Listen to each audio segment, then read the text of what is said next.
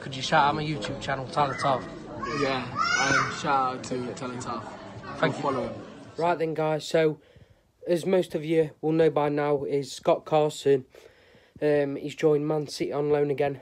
Uh, honestly, I'm not sure what to think. You know, I just think that if we're going to keep loaning him out, we may as well just sell him or let him go. Just be done with it. Um, in a way, it's a good thing, you know, taking him off the wages because I'm guessing Man City will be paying all his wages.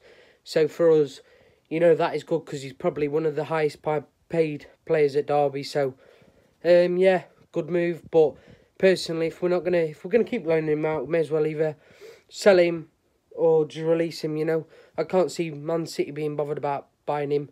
But yeah, there we go. Um, you know, he's joined joined Man City on loan for another season, and yeah, um, I'm guessing that that means we've got a goalkeeper coming in soon, somewhere hopefully. So yeah, thank you for watching. Make sure you like and subscribe, and keep doing transfer videos. I've already done some on my channel, and yeah.